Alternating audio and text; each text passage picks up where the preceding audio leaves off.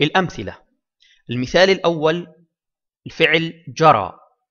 الفعل جرى مضارعه يجري فبالتالي ألفه مقصورة لأن نهايته ياء. المثال الثاني كلمة الفتى. الفتى المثنى منها فتيان فبالتالي ما قبل الألف والنون نلاحظ الياء فبالتالي ألفها مقصورة. الكلمة الثالثة الفعل غزا مضارعه يغزو فبالتالي ألفه ممدودة. المثال الرابع كلمة العصا. المثنى منها عصوان عصوان. ونلاحظ ما قبل الألف والنون هو الواو فبالتالي تكتب ممدودة. المثال الخامس كلمة اهتدى.